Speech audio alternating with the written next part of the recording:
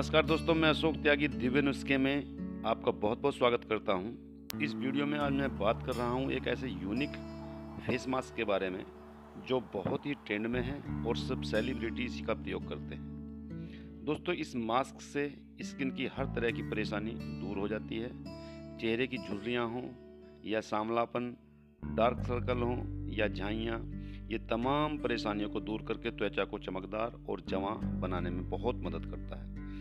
दोस्तों, मैं बात कर रहा हूँ चारकोल पील ऑफ़ मास्क के बारे में। डिटॉक्सीफाइंग और बेहतरीन क्लिनजिंग गुण के कारण एक्टिवेटेड चारकोल चेहरे के मुहासों को भी दूर कर देता है।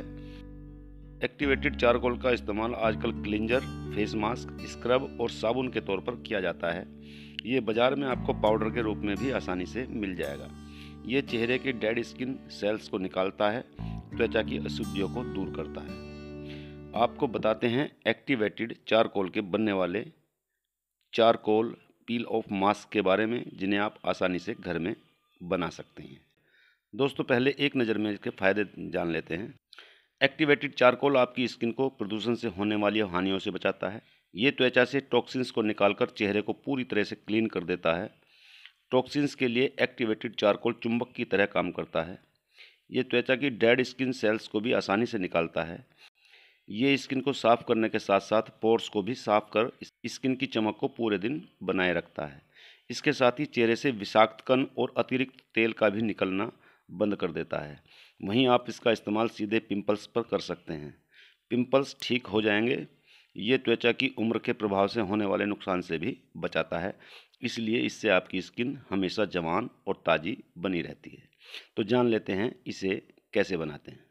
दोस्तों, चारकोल पील ऑफ़ मास्क को बनाने के लिए एक कटोरी में एक्टिवेटेड चारकोल के तीन कैप्सूल खोलें या पाउडर के रूप में अगर आप लाए हैं तो एक चम्मच पाउडर ले लें। इसमें एक अंडे की सफ़ेद भाग, यानी कि जो पीला भाग होता है उसे निकाल दें और अंडे का सफ़ेद भाग मिला लें। अब इसमें एक चम्मच मुल्तानी मिट्टी भी डाल लें और अच्छी तरह से मिक्स कर लें। अगर ये पूरी तरह से नहीं मिल पा रहा है तो थोड़ा सा पानी मिला लें और चम्मच से चलाएँ और एक पेस्ट बना लें। इस पेस्ट को अपने चेहरे पर लगाएँ और सूखने दें। पंद्रह बीस मिनट तक इसे लगाए रखें। पंद्रह बीस मिनट के बाद फेस मास्क को पील ऑफ़ करके इसके बाद चेहरे को गुनगुने पानी से धो लें। चेहरा आपका चमकने लगेगा। अगर आप इसे हफ़्ते में एक बार या दो बार यूज़ करते हैं तो कुछ ही दिनों में आप देखेंगे कि आपकी स्किन बहुत ही ग्लोइंग चार्मिंग और बहुत ही जवान नज़र आएगी आपको, बहुत ही मुलायम हो जाएगी, जिससे झुर्रियाँ और झाइयाँ वगैरह सब समाप्त हो जाएँगी।